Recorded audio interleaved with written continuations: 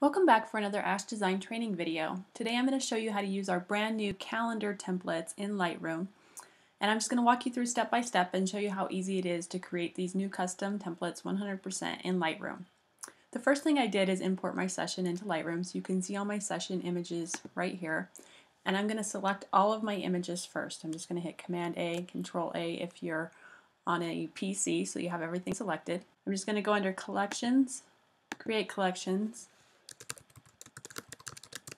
I'll just name it, tell it where I want to save it. I want to include the selected photos, that's why I selected them all first. And I want to make new virtual copies so that any edits that I make particular to this calendar won't be made on any other projects that I work with these images on. And then just hit create. Now I have this demo calendar right down here in my collections. By creating this collection, now it will follow me through whether I'm working in the develop module or even in the print module. I'll still have access to all of those images in the collection that I created. Next I'm going to import my presets. This particular set came with one develop module preset and then several print module presets. So you'll have to install them in the correct area. Right now you can see I'm in the develop module. I created a new folder called Ashe Presets and then I just right click to import navigate to find my preset, and click Import. To apply the preset, you simply press it and you can see the effects on your image. To see the before and after, you can split panels and see that's exactly what that Daydream preset does. The set also came with several print module presets, so I'll navigate to the print module, go to my template browser, create a new folder,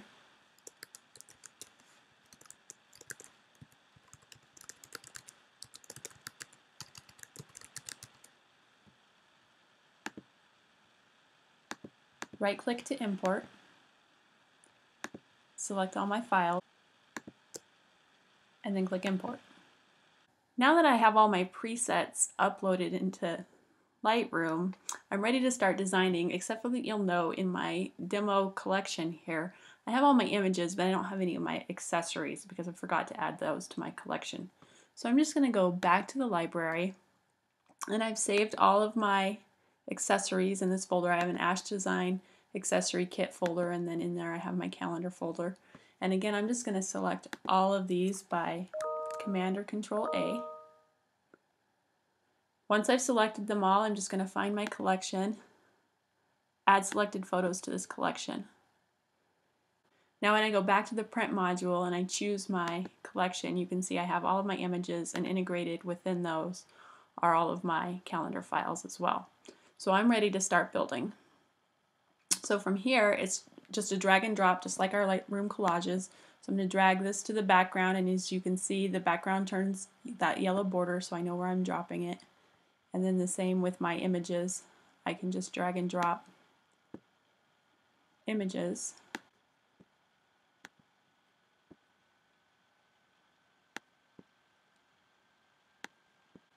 right into my calendar page. Once you've finished your design, you'll click Create Saved Print in the upper right corner to save a version in Lightroom under your collection. I'll show you this step later in the video. Now I've opened up the calendar cover from my Lightroom presets and I'm dragging and dropping the images again to fill the template. As I drag and drop the images, I can make edits to the images by going back to the Develop module. Inside the Develop module, I can then crop my images to fit the boxes. And then once I go back over to my Print module, I'll see the changes reflected in my design. I'll continue to do this for each of my images as I work through the design.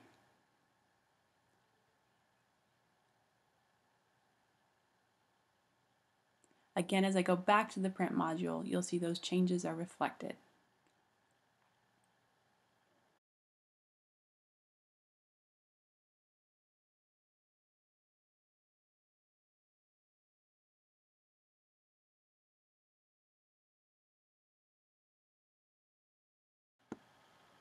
Keep in mind as I look for my final image that you can go back to the Develop module and make additional edits to your images. For example, I can use the new Daydream preset that we uploaded in the beginning of this video which is going to provide that soft edges to this image to complete my cover design. Next, I'll double click on the text to make edits, type in my family name, and press OK to see those changes reflected.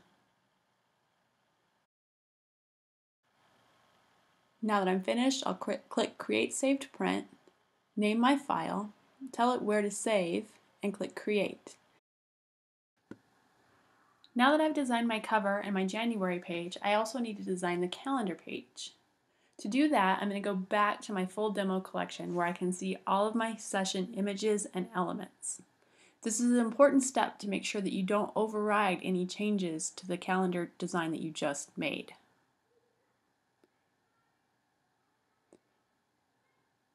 Next, I'm going to go back to my templates in the print presets. From here, I'll select the template called Date Page. It's simply a black page designed to hold the calendar steps.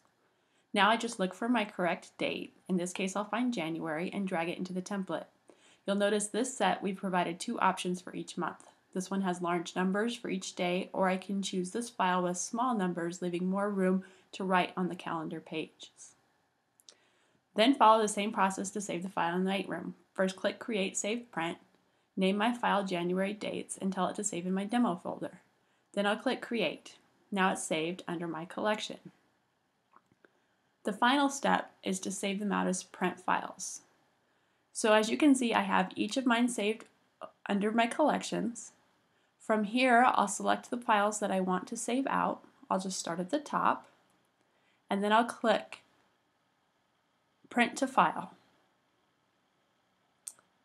I'll navigate to find my desktop folder that I want to save them in, and this will be the folder I'll use to upload my images to my Labs ROES system.